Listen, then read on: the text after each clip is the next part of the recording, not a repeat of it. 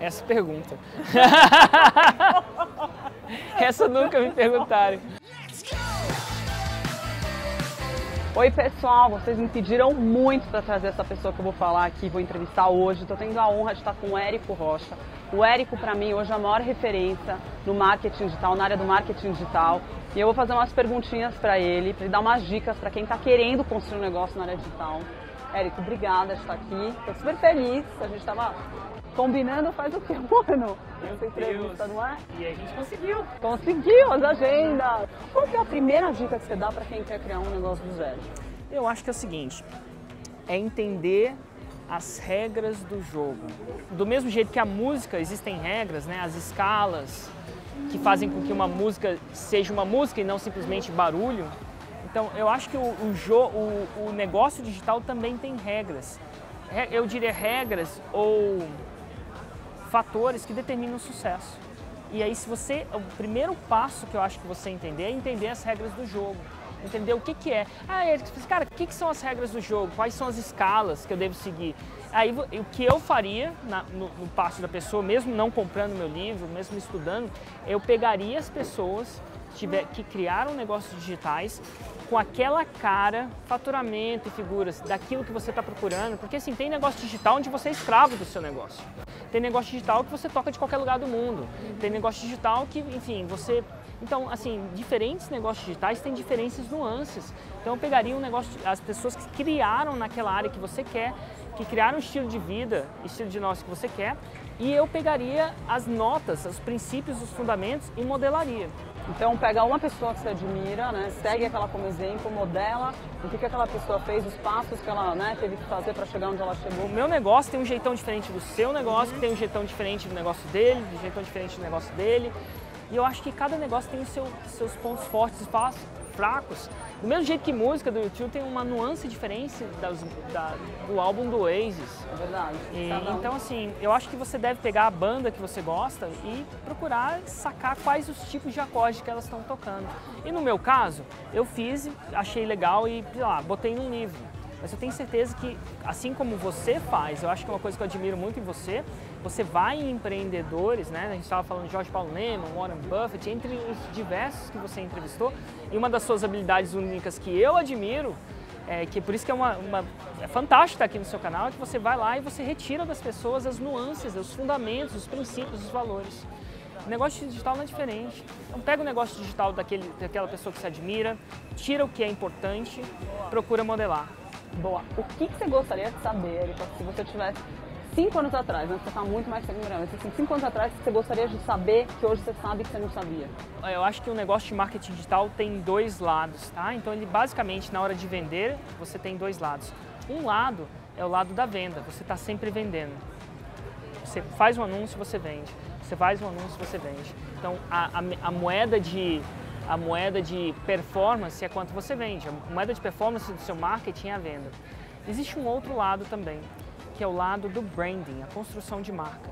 O que é construção de marca? Eu estou com um tênis que tem uma determinada marca, mas ninguém nunca fez um anúncio de venda desse tênis. Eu vi, de alguma forma, de outra, por causa da marca, muito provavelmente, eu comprei aquele tênis e não o outro. Você não, você é uma mulher, você tem as suas marcas prediletas, olha só. Não é à toa que eu comprei essa marca, por algum jeito. Então, esse marketing chama de branding. No começo da minha carreira, eu só fazia venda, só fazia essa venda direta. Então, se o marketing era retorno de investimento 100%. Eu acho que foi bom, assim que a minha carreira começou. Mas se pudesse falar com a Erika de 5 anos atrás, eu colocaria branding nesse coquetel de marketing. Porque eu acho que quando o branding, a marca, é focado com um processo de venda forte, a coisa escala. Então eu acho que nos últimos, eu acho que nos últimos quatro anos eu cresci 10x. Três anos eu acho que eu cresci 10x em faturamento. Uhum. Então eu tentupliquei meu faturamento. E eu acho que uma das sacadas que me levou a, era um faturamento bom, né? era uma, é um posicionamento bom.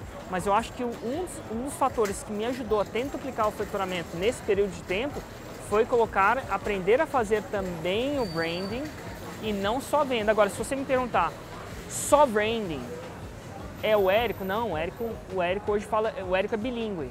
Eu estou falando essas duas línguas. Eu acredito que, que colocar o branding no coquetel, fazer branding no coquetel, Então a segunda dica seria o branding, né? Sim. É, Primeiro é modelar alguém que você admira, acho que a gente até te fez uma pergunta, é. mas uma segunda é você criar branding. um branding, fazer uma marca. Érico, como é que cria o branding? Sinceramente, o branding é quando você faz uma peça de marketing e necessariamente no final não vende nada. A gente está fazendo branding aqui. Quando você aparecer no meu canal e você faz isso muito bem, se você fala essa língua muito bem, a gente vai aparecer no final desse, desse, desse vídeo, a gente não vai falar, e compre o... Não, não vai ter isso. Então é um processo de educação, um processo de demonstração de valor. Então todo o conteúdo tinha uma razão de venda por trás. Hoje em dia não é mais assim. Hoje não você todo. tem as duas coisas. Total. Hoje o resultado todo... e o branding que você faz muito Total. Hoje em dia no meu Instagram, por exemplo, você vai ver por, pelo menos dois novos conteúdos diários onde não há nenhuma venda, assim, não há nenhuma chamada para ação. Terceiro passo, você acha, você acha que pode ser o também é, criar conteúdo? É. Para quem quer se dar bem no, no, na área digital, é. no marketing digital, é criar conteúdo de qualidade. Né? É, a, a, mais um, um, um, um, passo mais acima e talvez mais fundamental é, é, é entender que quando você dá valor para alguém, essa pessoa tende a querer dar valor para você naturalmente. Então você agregar valor. E digitalmente a gente agrega valor é, com conteúdo, mas a gente podia agregar valor de qualquer jeito. Eu acredito que você provavelmente tem os contatos, que você tem os relacionamentos que você tem, porque uma hora ou outra você agregou valor sem pedir nada em troca. E a gente faz isso no digital muito bem. O conteúdo é um meio para fazer isso, mas pensa mais fundamentalmente. Você não, mas você que está assistindo, né, pensa mais fundamentalmente todo dia, você, será que você agregou valor para alguém? E Érico, como é que você faz para produzir? Você tem um time, né, que, edita, que filma, mas assim, é muito conteúdo, Nossa. muita coisa que, que gera valor. Onde você pesquisa? Como é que você faz para... Porque Nossa. eu fico vendo, eu trabalho com isso, não é fácil. Meu Deus. É um desafio. As pessoas olham um vídeo e falam, ah, foi lá, gravou, colocou. É muito, tem um processo por trás que é complexo, né? É. Como é que você faz isso? Nossa, foi, foi liberador. Um, há um tempo, mais ou menos há uns 400 dias atrás, eu vou te falar por que 400 dias, eu fiz um desafio de produzir um conteúdo por dia por 365 dias, um desafio pessoal. Falei para minha audiência que ia fazer. E entre eu e você foi o capeta. Porque eu produzi isso, minha esposa falou, cara, próxima vez você. você porque isso que esse era Natal, esse era ano novo. Acho que a esposa quase te matou. E eu não né? tinha nenhum editor. Não, não Nossa, tinha nenhum editor, não tinha esses caras a fazendo. A esposa falou, vou matar o Deus, Se você faz mais uma dessa, é uma justa causa. É, é justa causa. Mas aí o que aconteceu? Eu fiz isso e comecei a fazer. E foi complicado. Eu olhava pro celular e fazia, olhava pro celular e fazia. E até o número 200, 300 rolou. Só que chegou em 300, aí eu já procurei ajuda, alguém para editar, porque eu não aguentava mais editar. Mas aí no meio do processo, no vídeo mais ou menos 300, eu não lembro necessariamente porque é muito tempo, veio uma grande sacada. E essa sacada originou todo o meu conteúdo que eu estou fazendo hoje. E a sacada foi o seguinte, no dia 300 eu queria desistir, eu falei, não aguento mais, não aguento mais. E até então tinha um videomaker comigo. Eu falei assim, cara, vou desistir. Ele falou assim, não, você não vai desistir não. Ele falou assim, como assim? Não, não, você não vai desistir porque eu tenho, tenho uma ideia muito massa. De você gerar conteúdo sem você nunca precisar olhar para a câmera de novo e gravar. Eu falei, como é que a gente vai fazer isso? Eu falei assim, cara, liga para três clientes seus ou alguma coisa e dá uma consultoria para eles, de graça. Seja você. E eu vou filmar essa consultoria e dessa consultoria eu vou derivar o resto do seu conteúdo por uns 30 dias. E eu chamei um cliente meu, a gente sentou por três horas e eu e eu dei a minha opinião sobre o negócio dele, foi muito massa. Daquele, daqueles três horas, saíram dez vídeos. E aí que veio a sacada. A sacada que eu passei desde, quase que desde aquele dia, eu quase nunca, eu falo quase nunca porque às vezes eu tenho minhas recaídas e gravo, mas eu quase nunca mais gravei. Então, eu você... nunca mais, desde 100, 200 dias atrás, eu quase nunca mais gravei. Então o que, que eu faço? Eu sou eu mesmo, eu ajudo pessoas e no processo é, eu, né, agora a gente tem pessoas que me filmam e editam. Qual foi a tua maior virada de chave na, na carreira como empreendedor? Vai. É, porque eu vim do mundo corporativo, trabalhava em banco de investimento e era um lugar onde errar não, claro, todo mundo erra, mas ninguém, todo mundo tem medo de errar demais. Totalmente. Quando eu fui no mundo do empreendedorismo, eu comecei procurando o perfeccionismo. Eu queria fazer o melhor produto, queria fazer o iPhone do que eu estava fazendo. E eu descobri que no empreendedorismo não dá para começar perfeito. Eu sei que em nenhum lugar dá, mas no empreendedorismo menos ainda. Porque quando você lança um produto, seja ele digital ou não, para ele se tornar perfeito, se isso aqui é perfeito ou não, tá? Para ele se tornar excelente, você vai precisar de uma coisa que você não tem quando você não lançou. E esse processo é o feedback. Então, sem feedback não dá. Então, se você demora demais para lançar alguma coisa, você demora demais para ter feedback, logo você demora demais para tornar ele excelente. Então, no empreendedorismo, Legal. feito é melhor do que perfeito.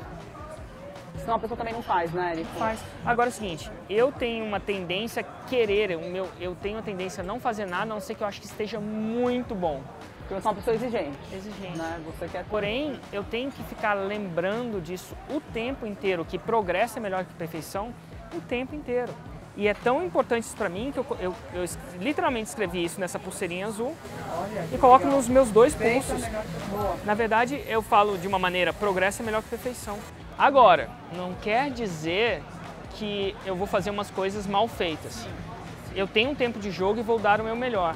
Então, um outro conceito que é importante para mim, então feito que é melhor que perfeito, se eu fizesse tatuagem, eu ia tatuar. Como eu não faço, eu coloco essas duas pulseirinhas. Outra coisa, eu não procuro me procuro, porque às vezes eu me faço, me comparo, tá? Eu sou humano, mas eu não procuro me comparar com as outras pessoas, os outros caras do marketing digital, os outros Eu acho que empreendedores. essa é uma, essa é uma super dica também, viu, Eric? Procuro me comparar comigo mesmo. Eu acho que a gente pode se inspirar, mas quando a gente compara, é como a gente está se comparando com o palco do outro nos bastidores. Você não sabe o que aquela pessoa passa, né?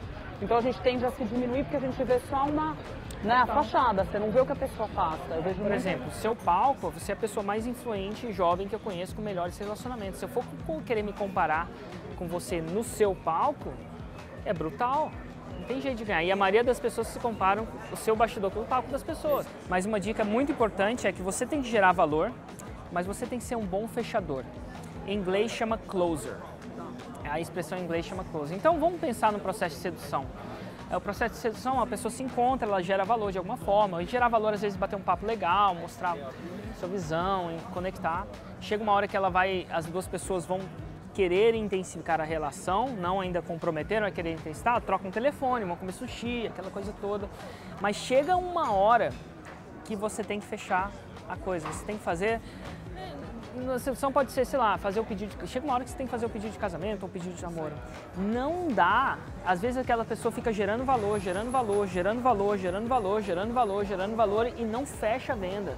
Então você tem que aprender a fechar a venda no digital. Se você fechar antes demais, antes cedo demais, não funciona. Mas se você gerar, é, fechar tarde demais, é ruim. Então, tipo, vamos supor que a metáfora seja casamento. Às vezes a mulher, meu, será que ele não vai me pedir de casamento logo? Já, tá- já deu, entendeu? Agora, se ele chegar aqui e qualquer pessoa pedir ela em casamento na hora, esse casal vai tá ali, espantar. vai espantar. Mas timing é importante. Então você tem que desenvolver o músculo de fechar. E na hora de fechar, na hora de vender, é na hora de vender. Na hora de gerar valor, é na hora de gerar valor. Mas uma dica, assim, para quem quer fechar, para quem quer trabalhar essa parte, porque realmente, Érico, você falou uma coisa que a maioria das pessoas que eu conheço tem dificuldade nessa hora, né? De vender uma coisa. O maior erro das pessoas é que elas têm a área onde elas são muito boas. Às vezes você tem um youtuber que é muito bom em criar conteúdo. Às vezes você tem é, um, nitro- um nutri- nutricionista que é muito bom em emagrecer pessoas, né? em dar um método para que as pessoas se emagreçam. Então todo mundo tem uma área onde ele é um nível 4 avançado na sua vida. E às vezes as pessoas esperam que quando elas vão aprender a vender, aprender o negócio digital, elas querem começar nesse nível 4. Te dar um exemplo, tá? Eu era um nível alto, vou chamar de nível 4, no banco onde eu trabalhava. São 10 anos, eram 10 anos de banco de investimento. Quando eu fui ser empreendedor, as- a minha expectativa era que eu começasse com um nível bom, afinal eu já era um cara que tinha atingido. Mas o fato de você ser nível 4 em outras áreas da sua vida não quer dizer que você vai ser um nível, come- começar com nível 4 nessa área. Qual foi a maior falha que você já cometeu até hoje na sua vida? Assim, uma das grandes e o aprendizado que teve. Porque eu acho mais bacana é quando a gente erra e aprende, né? Inclusive, os maiores medos, eu acredito que um dos maiores medos de qualquer ser humano que está sentado nesse café que a gente está fazendo aqui, eu acredito, é o medo de errar. A gente tem muito medo de errar, mas também a gente tem medo de ser rejeitado. Às vezes, como criança, pelos pais, pelas mães, pelos avós, pelos filhos, pelos, pelos fãs. Eu acho que uma das minhas maiores falhas, é muito louco, né? Porque você me tem como uma referência, você falou, ah, Eric, você para mim é uma referência de marketing digital. A minha, eu, às vezes eu não me perdoo por isso. Uma das minhas maiores falhas foi ter enxergado tendências é, grandes tarde demais. Tarde demais não, mais tarde. Deixa eu dar um exemplo. O Facebook no começo distribuía todos os posts que a gente postava para todos os fãs. E eu não vi o Facebook como uma boa coisa no começo. Então você não aproveita Então não, apro não aproveitei a onda, a primeira onda de distribuição. Então pessoas que fizeram milhões, né, milhões de é, fãs no Facebook, sem custo algum. Hoje em dia eu tenho milhões de fãs no Facebook, mas eu construí depois que a coisa já não estava boa, que o terreno já não estava tão fértil assim. Eu demorei demais para ver. E claro, com o skill que eu acabei fazendo, eu sobrevivo muito bem nisso. Hoje eu sobrevivo, eu crio, cresço meu canal do Facebook, mas eu, eu perdi o timing. Assim, o time. Cara, o YouTube, já pensou se a gente tivesse começado o YouTube em 2005 ou Nossa. 2011? Exatamente. Exatamente. A gente fazia já nessa... bem. Total. É. Só que eu, assim, eu vi, eu estava na posição de começar, mas eu perdi o time. Grande Sim. falha.